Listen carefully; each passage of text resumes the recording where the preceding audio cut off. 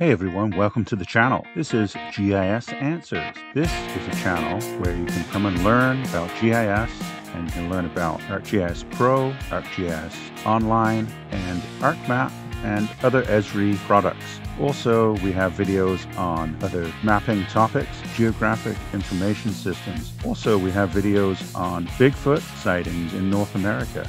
We will look at different accounts, different sightings in various locations, videos on uh, specific issues, on how to resolve problems, or just figure things out.